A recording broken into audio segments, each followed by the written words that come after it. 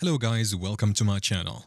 In this video, I'm going to show you how to change Windows 11 Administrator email. It is a fast and easy tutorial.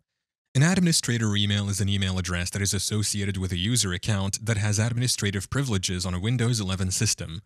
To begin, log in to your Windows 11 device using the current administrator account. Next, click on the Start menu and select Settings from the options. In the Settings menu, choose Accounts and then click on Your Info. Under Your Info, you will see the current email address associated with the administrator account. To change the email address, click on the Manage My Microsoft Account link. This will open a web browser where you can sign in to your Microsoft account and make the necessary changes to the email address.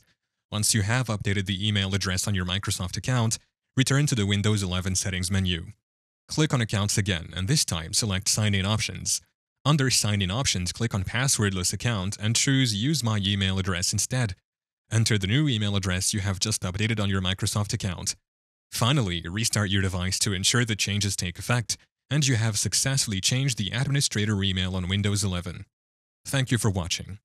If this video was helpful, please leave a like and subscribe to my channel for more videos like this, and click on that notification bell to never miss an update.